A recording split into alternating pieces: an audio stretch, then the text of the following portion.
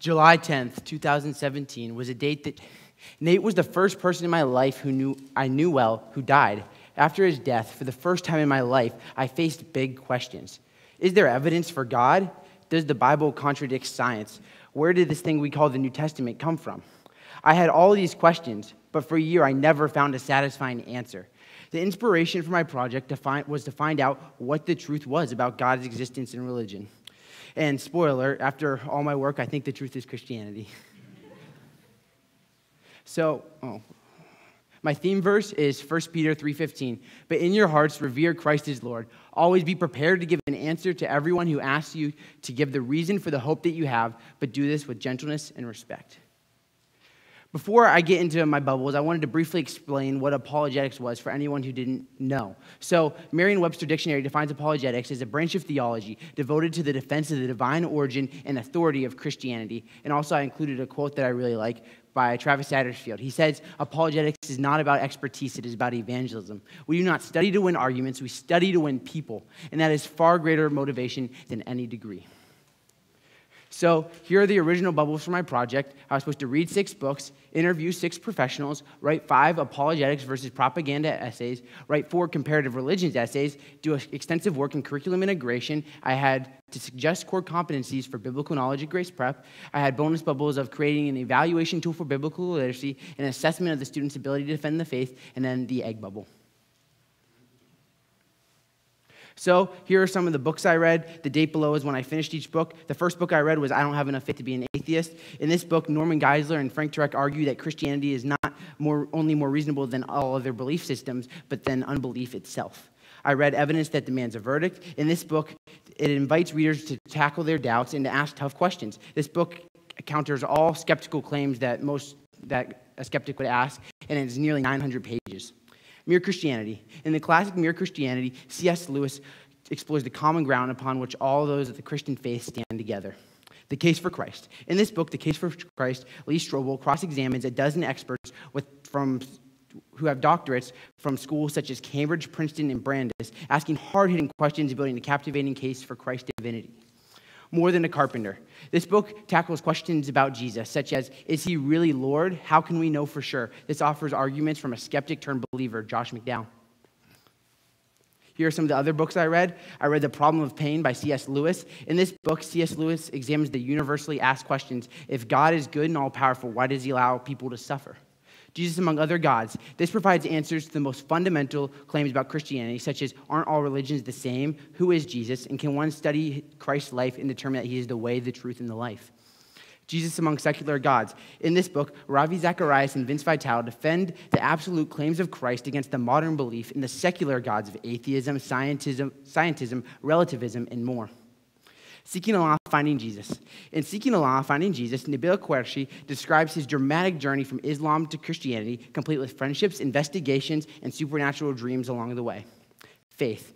In this powerful reflection, President Jimmy Carter contemplates how faith, faith has sustained him in happiness and disappointment. He considers how we may find it in our own lives. So, here are some of the interviews I did. I interviewed Dr. Craig Blomberg. He is currently a distinguished professor of the New Testament at Denver Seminary. He earned his PhD in the New Testament, specializing in the parables and the writing of Luke Acts. In addition to writing numerous articles in professional journals, multi author works in dictionaries or encyclopedias, he has authored or edited over 20 books, including The Historical Reliability of the Gospels, Interpreting the Parables, and more. Sean McDowell. He's the author, co-editor, or editor of over 18 books, including So the Next Generation Will Know, Sharing the Good News with Mormons, Evidence That Demands a Verdict, and, any, and many more. Dr. Edwin Yamauchi. Dr. Yamauchi was a history professor at Miami, Ohio University. Mr. Yamauchi had authored, has authored and edited numerous books, including Greece and Babylon, Persia and the Bible, the archaeology of New Testament cities in Western Asia Minor, and many more. Dr. Joel Duff is a professor of biology at the University of Akron. He earned his bachelor's in biology and has earned a PhD in botany from the University of Tennessee. His research focuses on understanding biological diversity by examining differences in DNA sequences and genome structure. He is currently a writer for BioLogos, an organization that promotes the idea of Christian theistic evolution.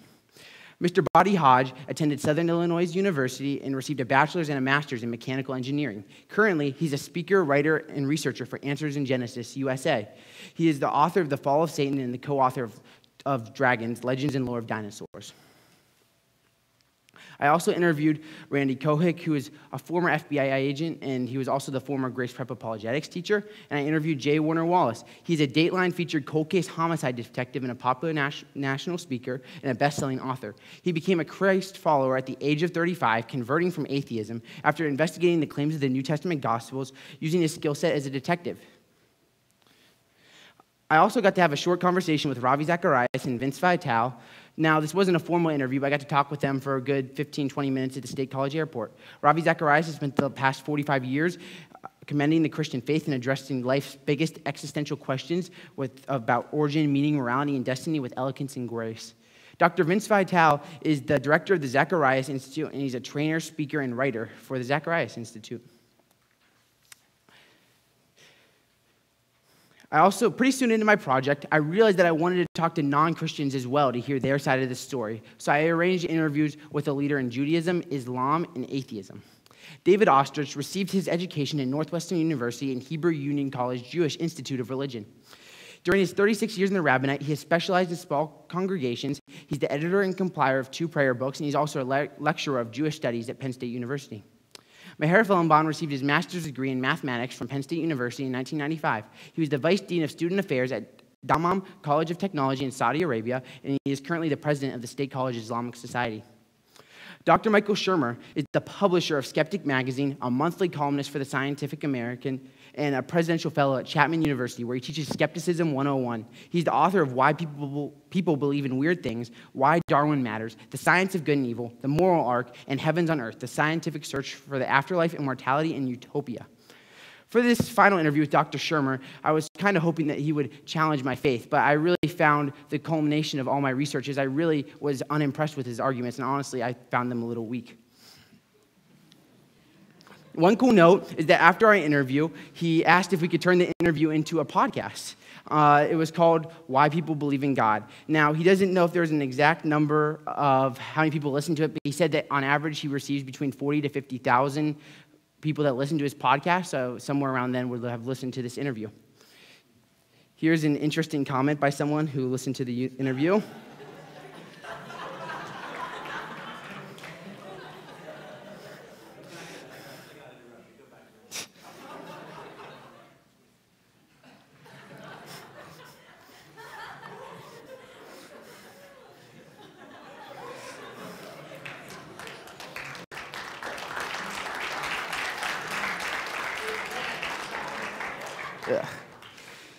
Next part of my project was to write five essays about hot topics in the field of apologetics. Most of this writing has been published on my blog. The first essay was about how we got the canon. This essay focuses on the origin of the Christian canon and how the Bible got to where we are today. Did Jesus really resurrect from the dead? This essay tackles numerous alternate theories offered by skeptics about Jesus' resurrection. A biblically faithful Genesis. In this essay, I argue that there are numerous biblical, biblically faithful theories on Genesis, and it does not matter whether the earth is old or young alleged contradictions in the Bible. In this essay, I talk about supposed contradictions in the Bible and why they don't actually contradict each other. Books excluded from the canon. In this essay, I talk about books that aren't in the Christian canon and why they aren't from God. I also wrote four comparative religion essays. These are essays that talk about the differences between Christianity and other religions. I talked about the differences between Christianity and Islam, Judaism, Hinduism, and Buddhism. I created a document based off that and submitted it to Mr. Lay. These core competencies include things such as biblical literacy, apologetics, and basic tools for evangelizing. The curriculum integration aspect of my project is very complex. I just wanted to list all the different parts of it before I get into each one individually. In the beginning of the year, Grace Prep students completed a survey in which they asked their biggest questions about Christianity. From these questions, I created a Grace Prep student questions document. Now, then I started to work with the staff on how we could best answer some of these questions. We answered some of these questions through chapels, and we also answered some of these through the apologetics curriculum. Here are some examples of the questions that we talked about in chapels, such as Mr. Jones on why people die young, Mr. Lay on how to hear God's voice, and Mr. Gresh on why people go to hell. Part of my original bubbles was to suggest an apologetics or course option for Grace Prep. Given that our focus was on big questions this year, I worked with the staff to put the course I suggested into action. This course was based off the book I read called I Don't Have Enough Faith to Be an Atheist by Frank Turek and Norman Geisler.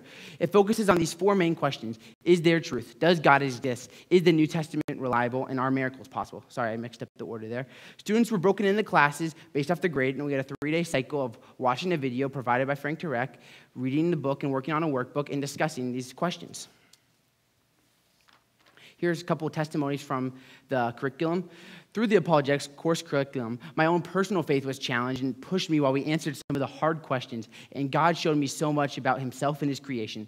One of the biggest questions I have taken away from this study is how important it is for people to know what they believe and why they believe it. Grace Moyer. Here's an Here's another quote.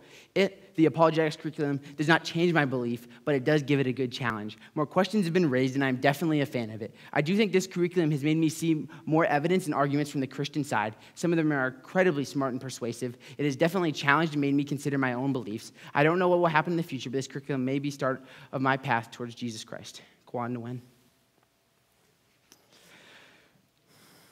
I created a bibliography that contains a list of Christian books in numerous genres. A lot of it is used from the Alisa Childers bibliography that Bob sent me earlier in the school year.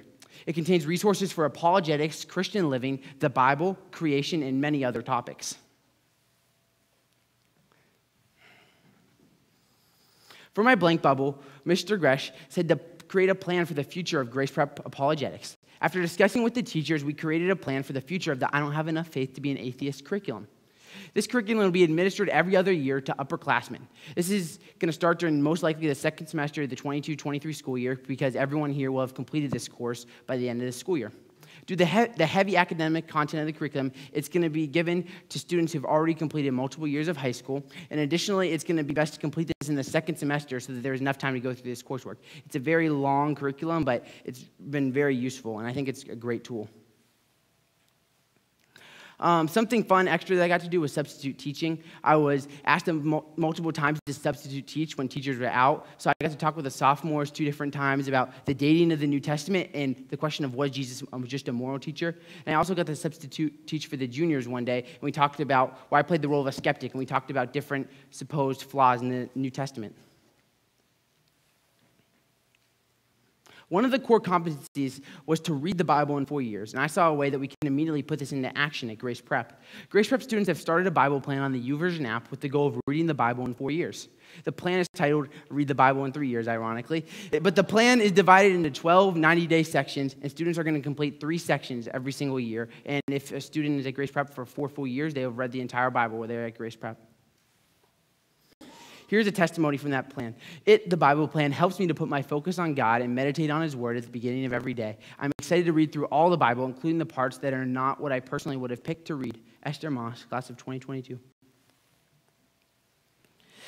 I worked with Mr. Canizero to bring Grace Prep students exposure to the outside world so that Grace Prep students would not just be contained inside of a Christian bubble. So we created this program called Apologetics in Action. Grace Prep students went to Penn State to survey students. Grace Prep students asked the five big questions that any worldview must answer, and then an additional question about Jesus. Those five questions about origin, identity, purpose, morality, and destiny.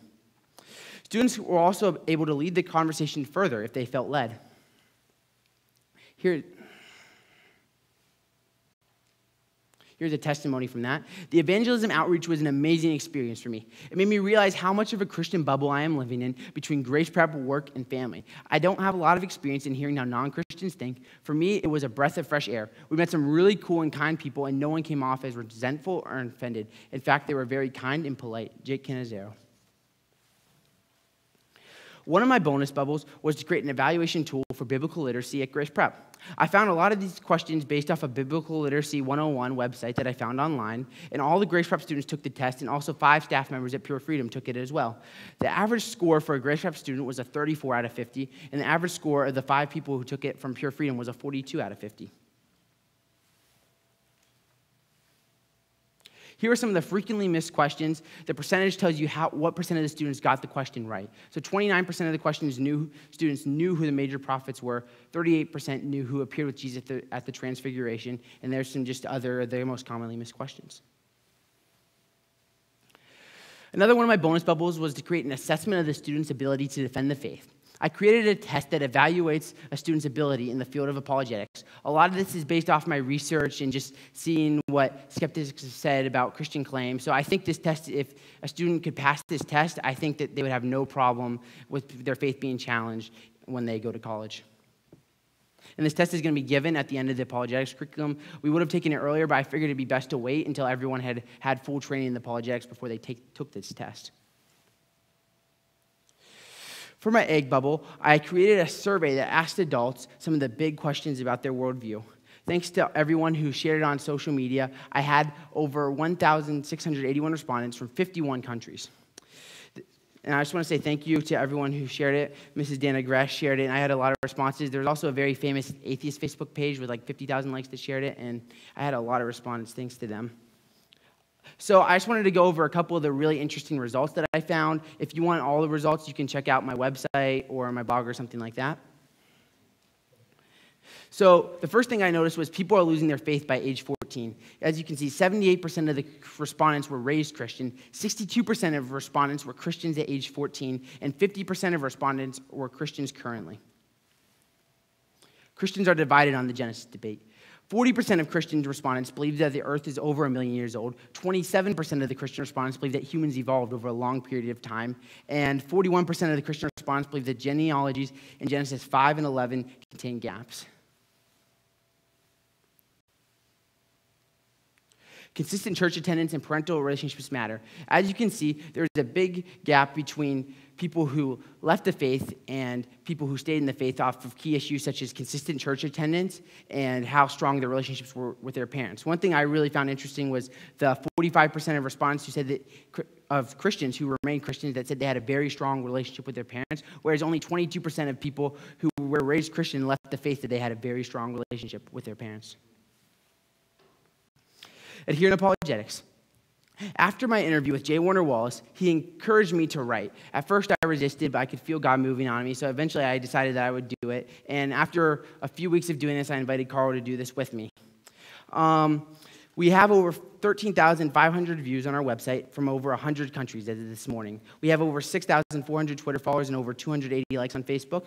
We also have 1,300 views on YouTube. Just an example of something we did for promotion just very recently is this Christian Apologetics March Madness tournament. So I'm a big nerd and I love analytics and things like that. So I figured I could combine my passion for apologetics with an analytical sports March Madness bracket competition. Uh, this slide says we gained over 300 followers, but that was when the slides were due. I think as of now, I think we have gained over 1,000 followers since this happened, so it's pretty cool. Um, so I just want to give a few examples of many famous apologists actually took note of this and posted on their social medias. Uh, Lee Strobel just replied, tweeted, which was pretty cool. Dr. Michael Brown, he created many of these funny, like old school boxing posters and put his face and his Christian apologist opponent on it. It's pretty fun to watch him. He made some YouTube videos, it's very entertaining. Uh, Stand to Reason also just mentioned it, which is really cool. Greg Koukl is doing some amazing things there. And David Wood, who is a lesser known in the formal field, but he's a very popular YouTube apologist. He has over 300,000 YouTube subscribers. Him and Pastor Mike Winger just made YouTube videos telling people to vote for them. And that poll individually had, I think, over maybe 2,000 votes. It was a lot of votes. And the, view, the videos each had like 20,000 and 10,000 views, I believe. My mentor for my project was Dr. Edwin Yamauchi. I asked him to be my mentor short, shortly after my interview. We talked on the phone, and he sent me many books and scholarly articles. By that, I mean I have a folder about this thick of all the articles he sent me, and I probably have 15 to 20 books that he sent me in the mail for free over the past few months. I admire him and asked him to be my mentor because of his academic, academic bruteness. He didn't shy away from the facts, and he told it how it was, which I really appreciated. My learning stretch. My learning stretch consisted of two parts an external and an internal stretch. Externally, I had to work on my communication. I had to, I had to learn how to operate on other people's time frame, and I needed to know how to have patience. I'm the type of person that wants, th- wants things done on my time, not someone else's time. So it was very hard to me, for, for me to adjust to other people's schedules, but I found it very beneficial at the end anxiety. I had much anxiety throughout this entire project, and I always doubted myself and my abilities. I'm a perfectionist, and I wanted everything to be perfect. But I had to realize that I'm only human and that I'm going to make mistakes. my faith. My project has strengthened my faith exponentially. I now believe that Christianity is true not only in my heart, but in my mind. Now I'm not afraid of my faith, and I see it as the most important. The apologetics curriculum in the Bible reading plan will help strengthen the faith of all of the Grace Prep students for the rest of Grace Prep. I hope that I've inspired my fellow students to not be afraid of big questions and to not accept easy answers. I just wanted to say thank you to my parents for supporting me through this entire project, my advisor, Mr. Jones, for meeting with me constantly and always helping me with new ideas. I want to thank my mentor, Dr. Edwin Yamauchi, for all the time he invested in me and all the money, and I really appreciate it. And I also want to thank Mr. Bobby Gresh, correct this on the slide, for my project originally looked a little bit different than this, but he changed my bubbles and everything was for the better, and I, it's just amazing how that all worked out. And I also want to thank everyone else that has supported me throughout the school year, shared my stuff. Like I couldn't have done it without you guys. So I really appreciate it. I want to conclude once again on this quote because apologetics can be heavy and academic, but we cannot forget the true nature of the purpose of apologetics. Apologetics is not about expertise, it is about evangelism. We do not study to win arguments, we study to win people, and that is a far greater motivation than any degree. So thank you.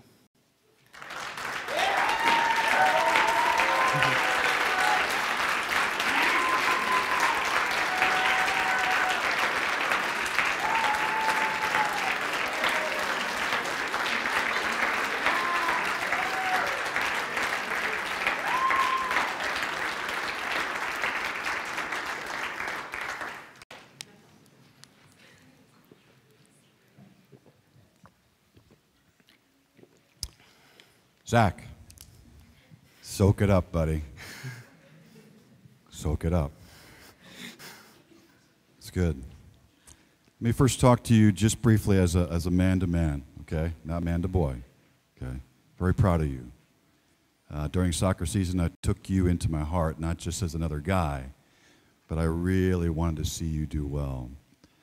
Uh, we feel that as teachers, we feel that as parents, we feel that as coaches. But you were onto something that I saw that um, I'm seeing more through this year and even now. So let me say this to you. When you look at culture today and who are the culture shapers of the kingdom of God in the world, it's scholars too. Okay? And so I think you need to think about that. You have that capacity and tenacity of mind to be a scholar. Okay? So think about that, all right? Thank you. Um, besides the fact being a coach in some sport as well. um, yeah, a few thoughts here on that. You were very thorough, okay? Um, there's a lot of work that you put into this. Uh, I liked your assessment at the end. You got real anxious. I think you, you'll learn to deal with those in time. That's all soul care stuff, just how we think about ourselves and where that takes us. But you really were thorough. I love the fact that you had multifaceted. That's important in this. Um, at first, I wondered if you actually had talked enough to non Christians, but you did that. What I would say is look at their books too. I don't know if I mm-hmm. saw that, but really wrestle with them because some of them have shaken me in my own pursuits. Um, and so I actually had to pray over my heart God, guard my heart. But it actually was good because it made my faith go deeper by reading their stuff. Uh, I just can't help but so, so proud of you. Um, all right, as God said to Job, brace yourself while I question you like a man. you have the making, okay? You have the making. Too much has been given, much is required. I used to hear that so often. But you have that, okay? What I would exhort you is where people seem to fall is a lack of integration, right, of what you've put together into your own life head, heart, hand. And it's this part, the practice. I love this quote, and this is going to be the real key for you. Uh, I'm speaking here, obviously, for you, the man, as well as the, the future. Because what happens, Zach, there's a disconnect with the final piece, the acting on it, right? Mm-hmm. And it is about the people, not just the defense of an argument. And so I want to ask you this question. Um, when you did this research and you did this study, did you find, tell me about your compassion for people. What happened with that? What was that like? right? Because you did talk to some people, and you know, we all chuckle like this one guy had a weak argument, but how did that compassion? Where did where did that go for you? Does that make sense? Yeah. Um, I mean, I definitely, as I studied more and I did my research, I started to, I really started to realize how important it was, like Christianity. Yeah. But also, it made me sad to realize how many people are really like just against God. Like I can just see like yeah. in some of these people, like Dr. Michael Shermer, who I interviewed, he has a tragic like just like he had a tragic event happen when he was like I believe like 18, and it really I think it really just derailed his faith. And I can see how these like terrible things have really hurt him. So I mean I feel like it, it's hard for me because I, I didn't have a personal relationship with him to have a lot of compassion, but I really understood the where it was coming from. Yeah, God will give you that. God will give you that. He does. Um, just a few remaining thoughts here as we get to the rest.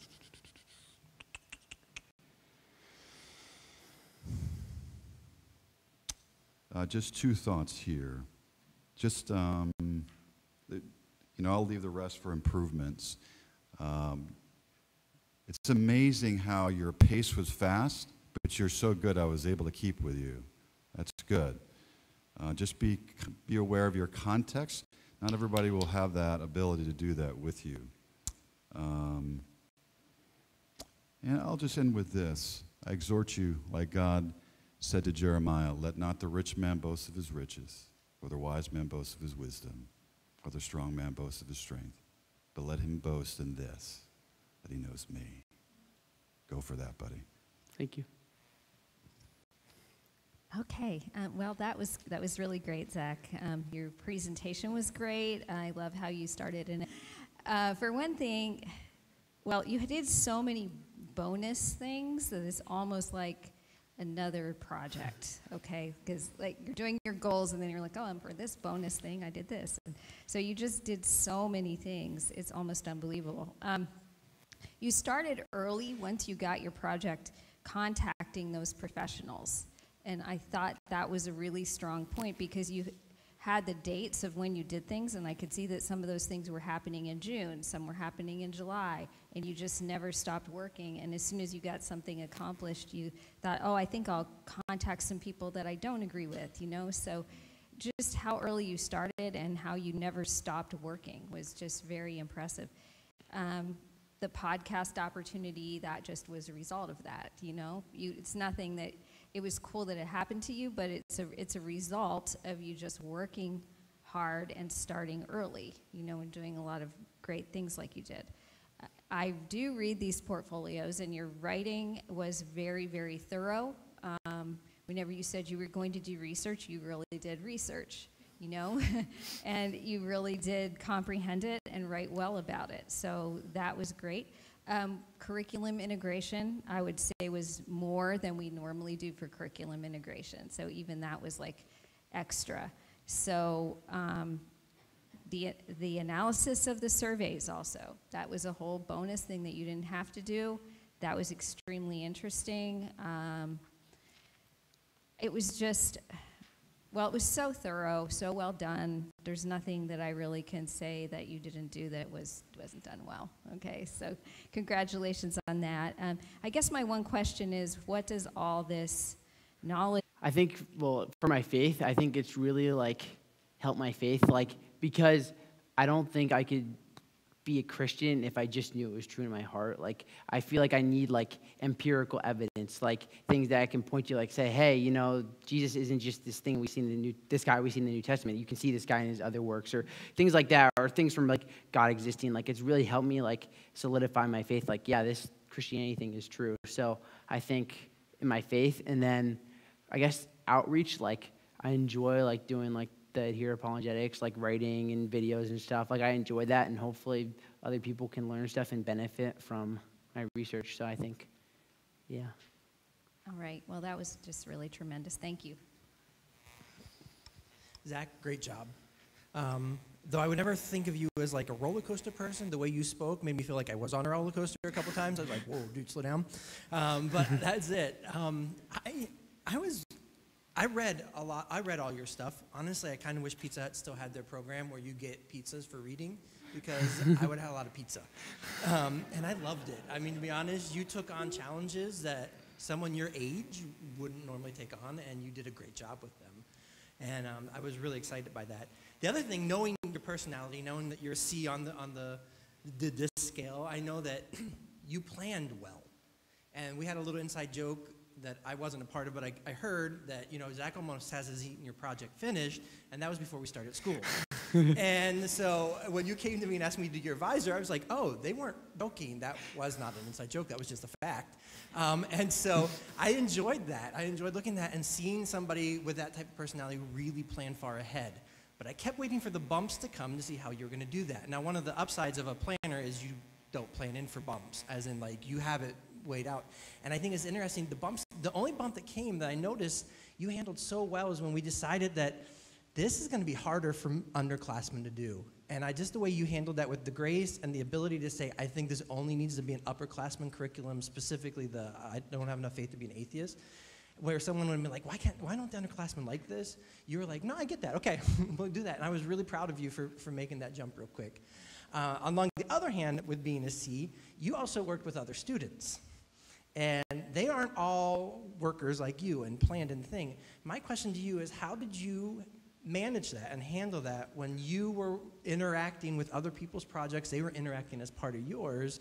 How did you plan for their unplannables, so to say? Can you clarify the question, please? Yes. How did you deal with the fact that there are other people? Because that was one of your anxieties too, was that people weren't going to work on your schedule. And so you had components like the Bible reading app you did with Carl, uh, some of the things that you did with Jake. Um, when that didn't work, and some people just aren't going to care, regardless of how hard you try, how hard you push them. Some people are just not going to want to do things. They're not going to want to read or do the Bible plan or things like that. So I just had to realize, like, you can't do everything. So just try as hard as you can, do as much as you can, go the extra mile. But at the end of the day, there's going to be people who just don't care, and you're going to have to accept that, and it may hurt them later down the road when they, yeah. Good. Um, other than that, hey, you did a great job, and I, it has been a pleasure to work with you. You made my first year as an advisor easy, um, so, um, so great job. Thank you. Yeah, great job, Zac. You're the Tom Brady of senior projects. You're the, you're the that's amazing. I mean, it's just. Uh, um, I mean, I know the Eagles beat Tom Brady. I want to just clear that up. So somebody could potentially be the Eagles of Tom of senior project. But I, yeah, this project was. The amount of time I spent on this project was amazing. Just reading your emails to me about the project. I think I had more time in this project than any project in history, just reading the progress. Um, you did a really good job of keeping me informed. Uh, really good job. Really good job. And so, um, but you continue to, to expand the project. Um, wow. So, you know, this is an example of a project where you picked the right one and just got on early and everything, and then it started having mo momentum. And it started, you know, I mean, momentum and critical mass are a serious thing. Uh, one of the things I noticed is you, you said you published over 60 articles. Those are the, I looked this morning, you've posted almost every day on your blog since January, right? Yeah. And I, every day since, I think you've hardly missed a day since January, right? Yeah, not all of them are mine. Probably like 75% are mine, 25% are Carl's. But I mean, we have been posting. We've just been ahead of things. I think we have things scheduled for like the next 10 or 11 days. So like we're on a mm-hmm. really, we've been doing a lot. Um, you've accomplished something I've been wanting to accomplish for a lot of years. We just haven't gotten it done. Is just you know this defense of the faith, the analysis of the students, the biblical literacy to make sure we know what our students know when they're coming in and what they know when they're going out. Um, how'd you meet Ravi Zacharias?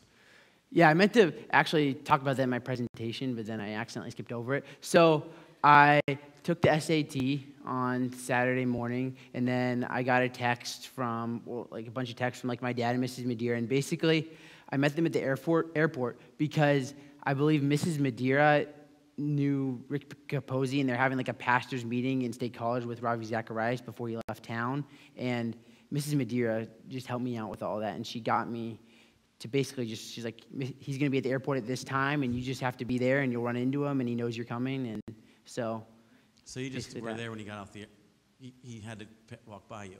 yeah, basically. That's good. That's good. So that's kind of what, that's how you get things done. Um, there's only one door into that airport, basically. You- you- Yeah. um, I think that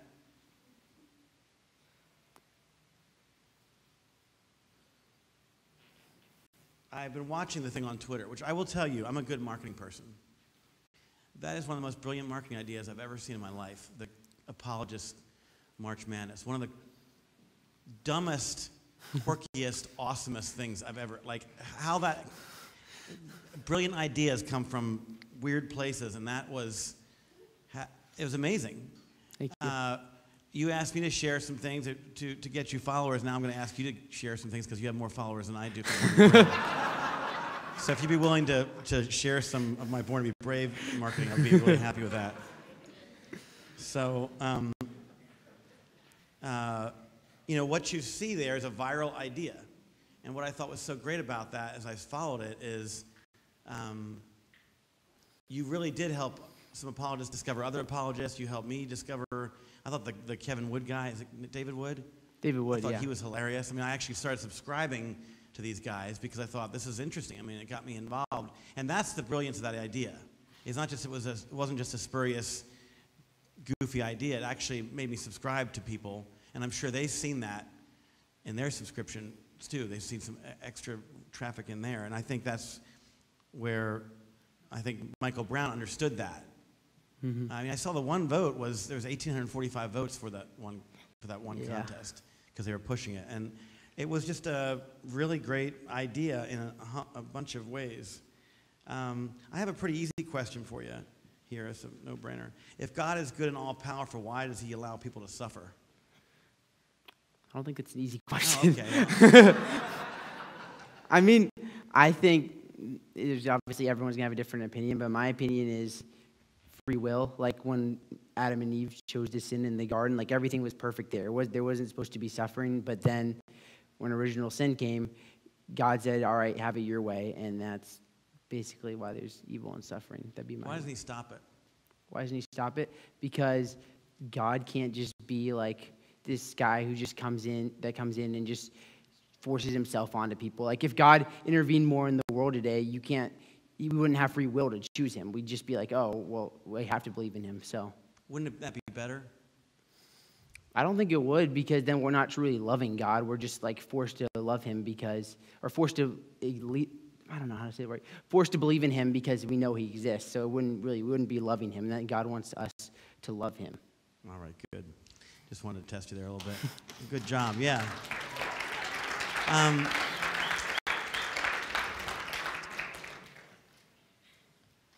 I think that what I loved, part of the, what I loved, I didn't see in the binder, I guess, it must have been in there, but the fact that you were subbing for some teachers.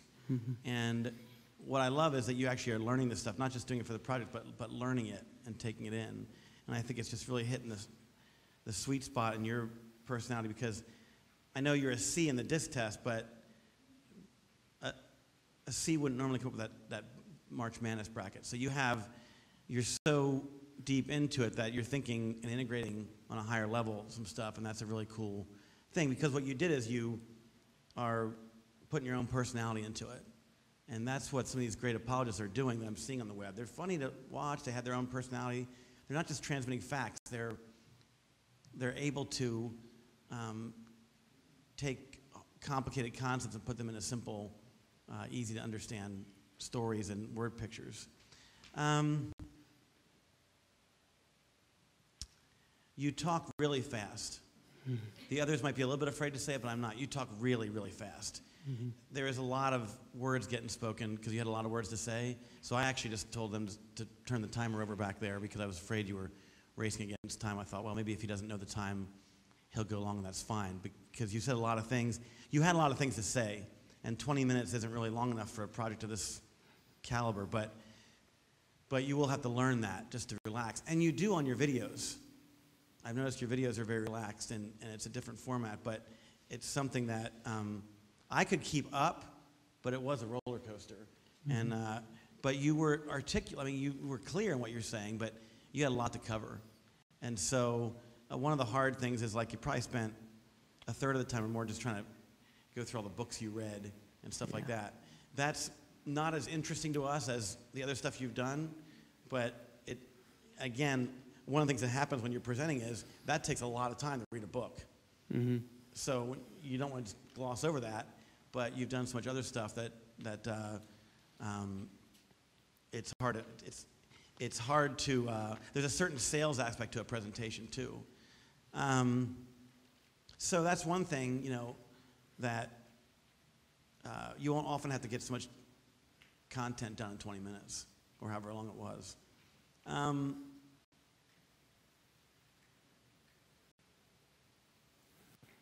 what's next? It's a good question.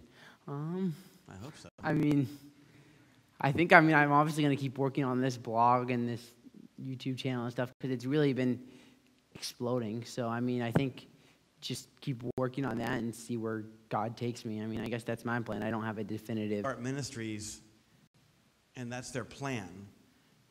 That doesn't usually work out as well as they think. People that just a ministry starts out of them because it's the story of their life or they're ministering through it is where it pops up, and all of a sudden you have something you didn't think you were going to have because it's very organic. I would tell you this that you are really skilled at the UN Carl, however, whoever's doing what. Uh, truly you have a blog that like the twitter thing that everything that comes up i'm like oh i should read that i should read that now that's the good news sometimes i delete those things and i'm like every day something comes up i want to read i feel guilty every day for not reading it. But you have a good skill for what's coming up there. Whether you're writing them or sharing them or whatever it's it's um, it's really effective because the questions that you're ask, answering or asking on there are it's hard not to click on them. Uh, I think that what the challenge always is, and I think Pete was saying the same thing, is it's the humble apologist. It's can you increase in knowledge and humility at the same time? Because it's easy to destroy people in arguments. It really is, because most people don't, don't, can't argue and don't have any knowledge of it. It never, like it says up there, you know, uh, it's not that we don't, it, we don't say to win arguments, you know why? Because we never argue anybody in the kingdom, ever. And so it is a matter of compassion for people who don't know. It's also a matter of, um, generally, we don't, we're not arguing people into the kingdom. And so it's a matter of being there, sort of in their need, because the answer about pain is really a compassion question not a scientific question. It's a question that's asked when people are at the end of the rope. They don't need to be argued with, they don't need to be convinced, they just need to be listened to. The answer to that question, nobody really has a great answer to it, is the love of God, is how that envelops them during that time of grace. So the, the, the challenge is uh, I think you have an incredible opportunity here, an incredible start. Um, the, the question is can you be the humble apologist that is learning it, like that says, to win people, to bring people closer? Uh, because there's a lot of apologists out there that like to, to uh, argue. I mean, I guess all of them do to some extent. I had to kind of laugh at their actual arguments for voting for people. Dr. Michael Brown's headline was like, vote for the guy he was against. And then in the video, it was kind of like, the way you help the guy I'm against is by voting for me because he's getting proud or something. I mean, they were all apologist sort of arguments. But I, I would encourage you in that. I think you have a great marketing technique that, because it's coming right out of your passion. It's just bubbling up. And that's what really uh, makes a difference. I'm sad that I've been gone so much this year because I, I wanted to learn some of this stuff. I mean, the students are way ahead of me in their knowledge of this, and I appreciate that because it's one thing that's very important to me is intelligent faith. So I think that your consistency over the year, you won, you've picked the right project for you, and then you started early and you kept on it, and then you got momentum earlier than almost any project I've seen, and just started. Then all your work was uh, was exponentially multiplied. So, um, great job, uh, amazing project. I'm kind of relieved it's over because there's so much work being done that I'm like, oh my gosh, this is amazing. So, but I want to see the future of it. But uh, I'm glad you came to the, the, the finish line so far. And I hope you move forward with it too. Great, great job, Zac. Thank you.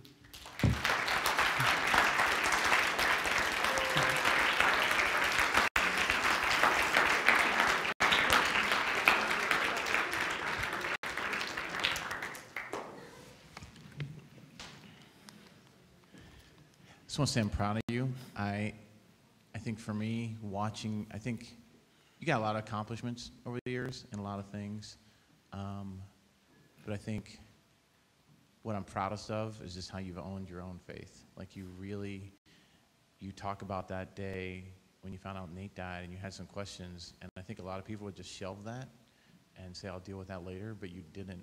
And you have just owned your own faith, which is all that I really desire from you is just to make your relationship with God real. And you've done that and you have sought it out.